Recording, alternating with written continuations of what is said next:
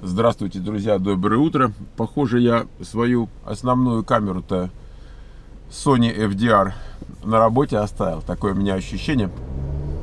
Там мне зритель написал, э, уберите вот эту вот защиту от шумов низкочастотных. Действительно, там было выставлено. А то, говорит, голос меняется по тембру. И я подумал, ну, действительно, раз машина более тихая, так надо, значит, убрать. И, наверное, так на столе и оставил. Поэтому сейчас у меня в руках, ну, не в руках, тут вот на подставочке, у меня камера GoPro трешка. На улице с ней, конечно, очень тяжело снимать, потому что действительно вот нет защиты от э, вибрации, нет стабилизации. Поэтому действительно все такое дерганое. То есть я как бы уже избаловавшись э, камерой Sony, я, конечно, не могу смотреть на то, что снимает вот, вот та старая GoPro, бесстабилизационная GoPro, что она снимает на улице при ходьбе особенно и так далее. Но я надеюсь, что в машине нормально будет. Значит, у нас у меня обычно все эти камеры настроены на эм, 1080, 60 кадров э, в минуту. А некоторые говорят, а чего у тебя там на Sony нет 60 кадров? Ну нет, там когда 4, 4К снимаешь, то 4К, то, соответственно, можно только 30, а если перейти на 1080, тогда уже можно 60. Но я стараюсь снимать 4, 4 4K, вот это вот, э, когда можно. вот, э, осваиваюсь, обживаюсь, э, читаю комментарии. Спасибо всем, кто пишет. Эм, надо сказать, что Э, мысль о том, что там машина такого, ну не красного, ну так условно красного цвета, что это женский цвет, это мысль, э, ну если будете в Америке, лучше не высказывайтесь на эту тему, над вами будут смеяться. Вот так как-то. Если вы уже там у себя, то тогда, ну просто имейте в виду просто, а, на, насколько вы глубоко не в теме. Э, это первое. А второе, вы видели, что Света, например, не хотела красный цвет, хоть и девочка а я как раз вот проехал красный Volkswagen, там мужик сидит. Нормально. Здесь э, почему я не хотел раньше, то есть меня хотел, но как-то не приобретал себе ничего красного цвета, потому что э, тут есть такая мулька, что полиция э, более болезненно реагирует на красные автомобили, потому что лихачи покупают красные. Вот лихачи любят на красных. Я вообще не лихач ни, ни, ни, ни в каком виде. Поэтому, ну, иногда так красиво, знаете, бывает очень красивый цвет. Но второй, второй аспект. Жарко. И, ну, в смысле, тропики все-таки здесь у нас. И поэтому очень популярны машины белые, э, серые, стальные, такие отражающие. Ну, скажем, черные. То есть есть черные, я ничего не хочу сказать, но, но вы чувствуете разницу вот эту вот солнечную. Что еще на цвет влияет? Ну вот пыль, которая оседает. Такой грязи, как, допустим, мы когда-то ездили по Москве, здесь нет. Но, ну в смысле, вот, с колес, с чужих там и так далее. А здесь довольно чисто. Но, тем не менее, что-то же на машине оседает, поэтому я еще скажу, что когда тут бесконтактная мойка идет, она не, не вымывает так, как когда мойка контактная. Тоже там остается какой-то налетик такой. Ну, в общем, поэтому вопрос в том, что э, хорошо ли видна грязь на машине, так скажем. Вот на черной видна хорошо, на светленькой видна меньше. Поэтому, допустим, свет у меня предпочитает серебристые, например. Э, хотя она намного аккуратнее, конечно, и водит, и машинку содержит там, и да, что сказать. Ну, в общем, тут есть разные соображения для выбора цвета, но уж, во всяком случае, красный и не красный, это совершенно не вопрос мальчиковости, или, как там говорят, геи на таких ездят.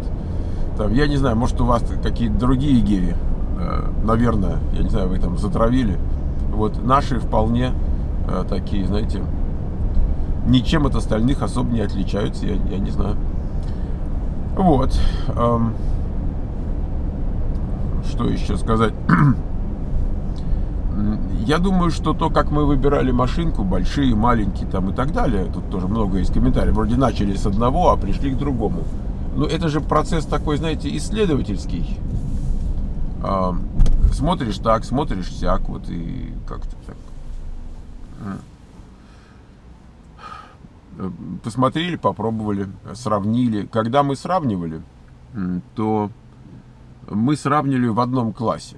То есть мы не говорили, смотри, вон та маленькая там BMW, она дешевле, чем вот эта большая, там, скажем, там, я не знаю, Volvo или там Мерседес. Мы, мы же так не сравнивали. То есть мы говорим, вот этот класс, вот это, это мой размер, вот это то, что мне надо, вот это оно. Вот. И вот, вот это, вот в разных, э, там, допустим, в, рав, в разных марках, да, вот во, во что бы это вышло, какой там набор фишечек и так далее, и так далее. Поэтому, так, да. Э, то, что машина красная, мне хотелось красную, но когда мы были в, в дилершипе, то Елена нам сказала, ребята, это очень маловероятно, что удастся найти где-то красную, потому что потому что их делают мало, они обычно стоят на дисплее в, в дилершипах, и так их, э, в общем, ну, трудно найти такую. Вот. Э, и давайте, давайте еще два цвета выберем. Ну, это там были, была серенькая, была стальная. И я, собственно, уже исходил из того, что будет серенькая и стальная, или стальная. Но вдруг с утра получаю сообщение, что там текст месседж, что вот нашли таки красную вам. Вот сейчас приедет из Лос-Анджелеса. Да.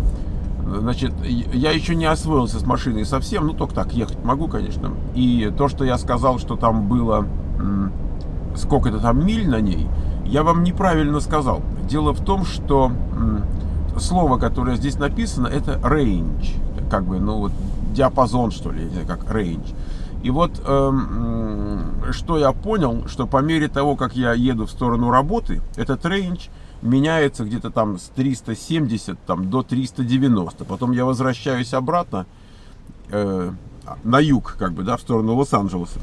Вот, и оно снова становится там 370. То есть это явно не рейндж, а это явно какое-то расстояние от какой-то точки, которая находится где-то в Лос-Анджелесе. Вы, вы можете мне сказать, Миша, а, а все-таки сколько же на ней миль? А я вам отвечу, а я не знаю, как туда попасть. Так, эко-дисплей from start. Одна миля, 10 миль. Тут что-то меняется from reset. А, друзья, 61 миля. 61 миля за все про все наезжено на этой машине. Вот с тем, что я вчера приехал на работу, вернулся, ну это считайте 15 миль. И сегодня. Вот на ней сейчас 60 миль, а было что-нибудь там ну, не знаю, 42. Вот. А там была дискуссия, откуда на машине там 300 там сколько-то мили, что, мол, типа она своим ходом пришла из Лос-Анджелеса. И это не так. Своим ходом ничего такого не ходит. А происходит это таким образом. Значит, э, дилершип продает машину.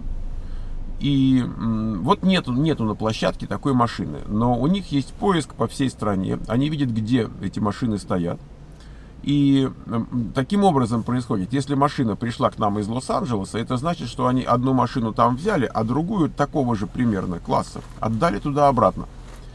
Поэтому вот эти машины, которые ездят туда-сюда, перевозя автомобили, они ходят с невероятной чистотой, они ходят регулярно, они охватывают большие территории, там собирают. Это не то, что там они, знаете, там месяц пройдет, пока они соберут несколько машин. Они каждый день да по несколько ходят. Поэтому это очень такой интенсивный бизнес. Есть компании-перевозчики. Поэтому никто своим ходом гнать машину вот так не будет. Могут пригнать машину своим ходом, если она, допустим, в часе езды. Это возможно. Э, чтобы трак большой не гонять, там это все разгрузкой, погрузкой заниматься, да. Если бы машина была в Сан-Франциско, они бы ее, может быть, живой человек бы ее пригнал. А машина, которая из Лос-Анджелеса, живой человек ее гнать не будет. Это как бы совершенно не, не, не принято. Значит, я, видите, интуитивно я сообразил, какая кнопочка за это отвечает. Ну хорошо, вот 61 миль. А было там 42-43, я все понял. Что там еще-то есть? Так.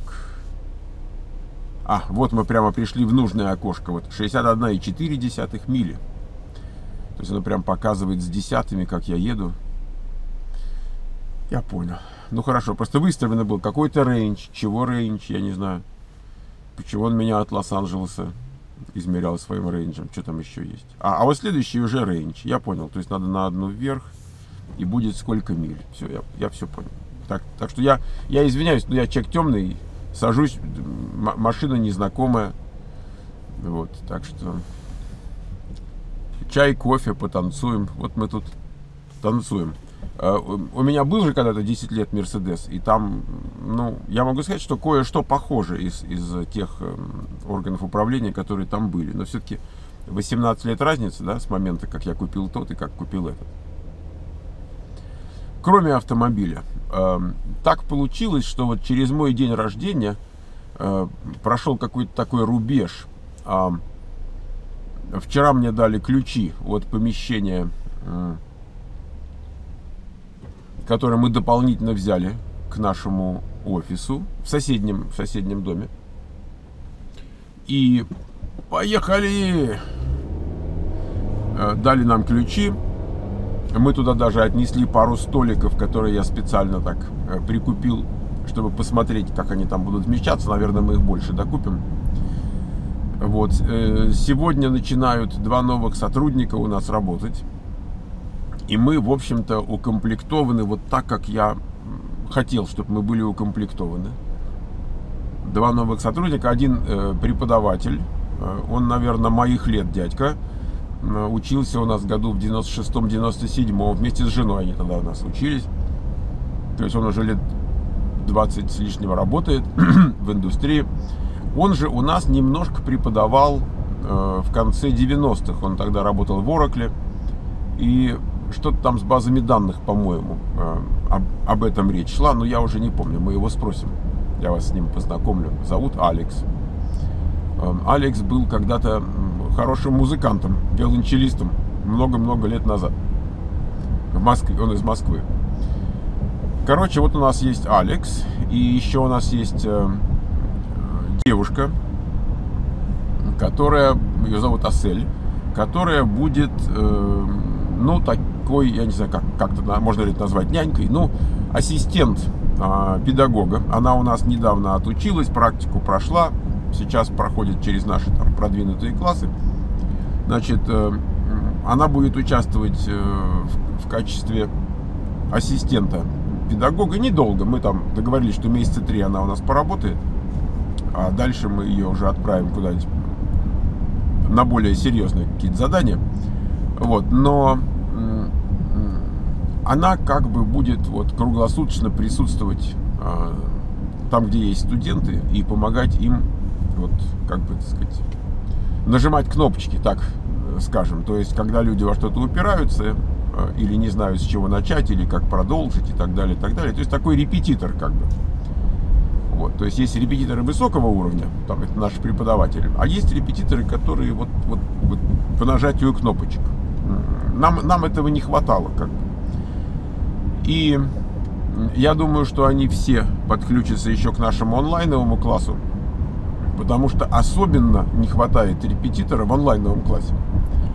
Там довольно много народу, и, в общем-то, они как бы, я не хочу сказать брошенные, но, в общем-то, индивидуального внимания там по определению нет. Поэтому мы попытаемся привнести э, столько, сколько можно э, индивидуального в онлайновые классы.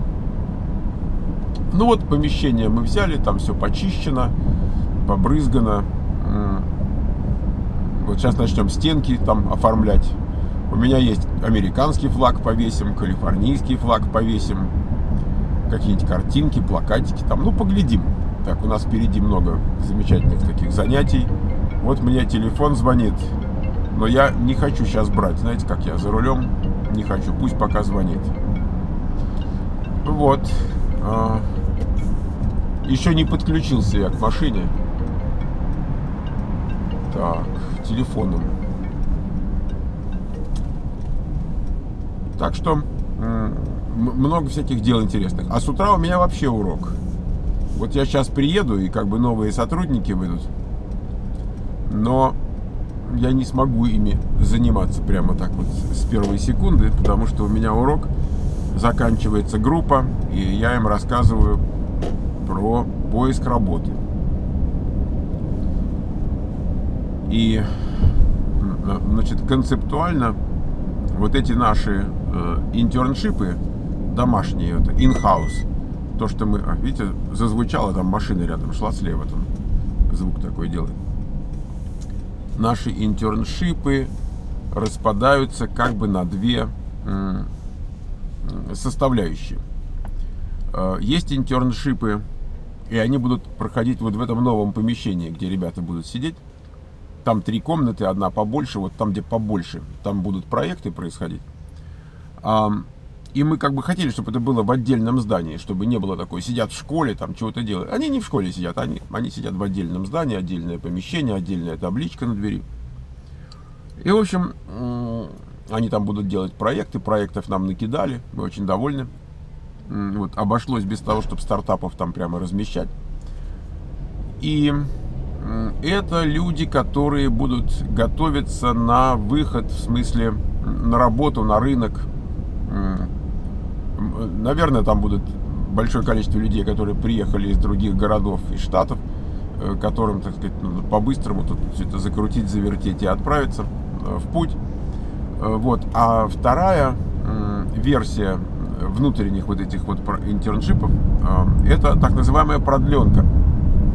Продленка будет происходить в основном э, нашем помещении. У нас там две большие классные комнаты. И в одной из них будет проходить продленка. Э, на продленке не будет много народу, ну, я не знаю, там 10-12, вот так, не больше. Это люди, которые в школе, и которые, там, скажем, он отучился там до трех часов с утра, а дальше нужно его э, как-то вот доводить.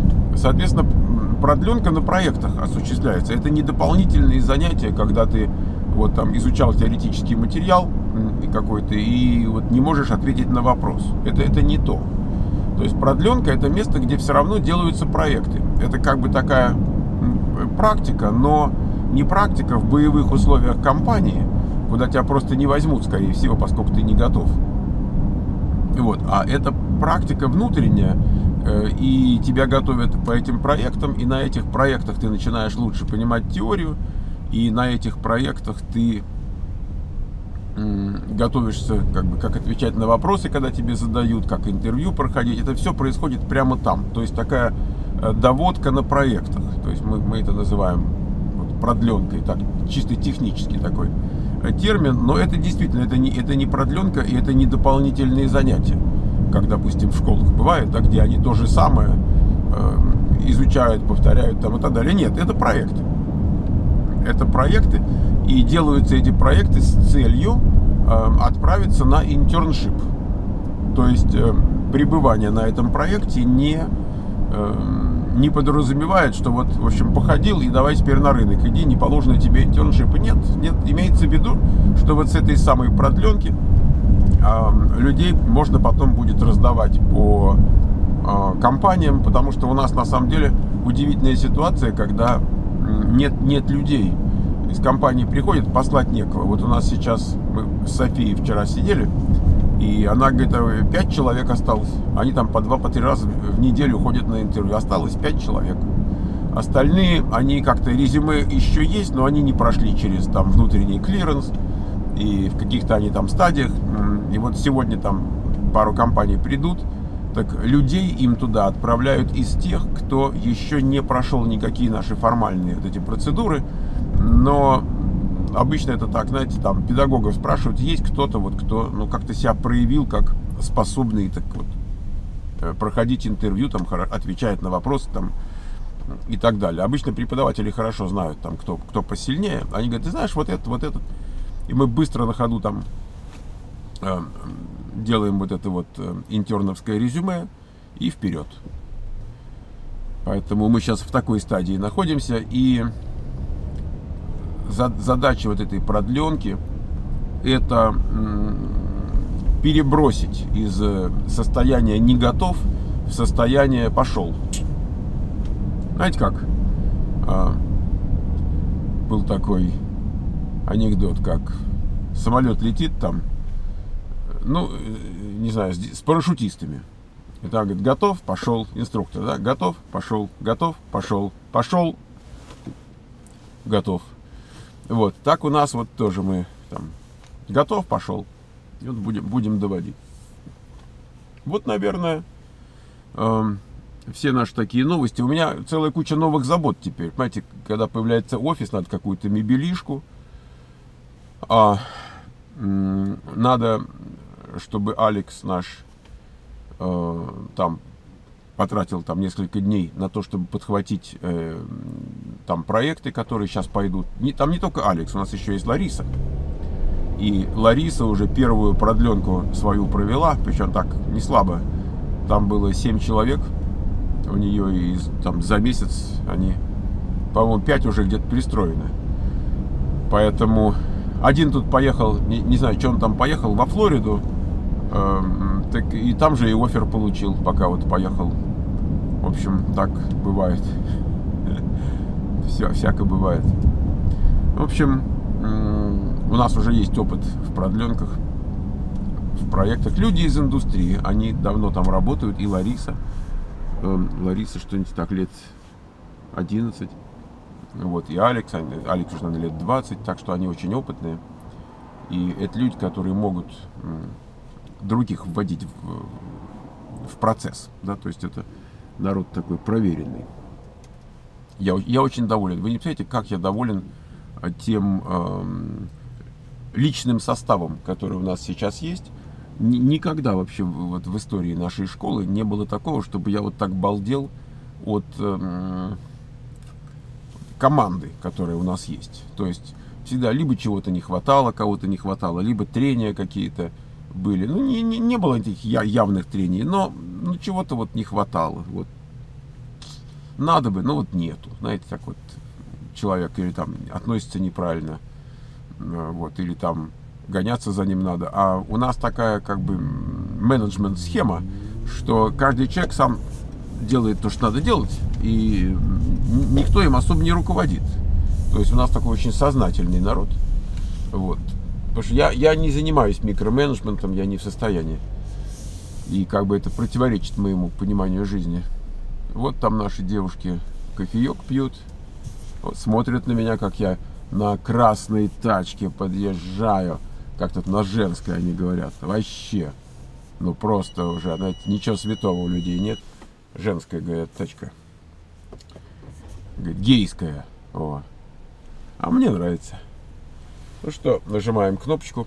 Тут еще, знаете, какая прикольная фишка есть? Я вчера в темноте уезжал, так э, открываю дверку Мерседеса, а там, знаете, так вдруг все светиться начинает, там где ручки, там все так. Открываю дверку Мерседеса, и на асфальт вот такого размера, значит, э, светом проецируется вот этот мерседесовский, мерседесовское лого, там что-то написано, и все это прямо туда на асфальт. И я просто офигел. Ну, то есть, а, абсолютное какое-то излишество, э, не, сами понимаете, не нужное никому. Но, э, во всяком случае... Так, что-то я не, не там выключил машинку. Секунду, сейчас мы... Не то что-то я сделал. Привыкаем. Так, раз. А, надо кнопочку, на, нажать кнопочку, она будет на parking. Все, а теперь выключаем. Sorry, sorry. На parking кнопочкой. И, в общем, оно так туда проецирует. Я думаю, мама родная. Я говорю, э, ну, наверное, это прикольно. Я думаю, наверное, деньги за это берут. Подумал я. В общем, такая, ну, уже уплачено, поэтому, как бы, чего есть, тому и радуемся. Счастливо.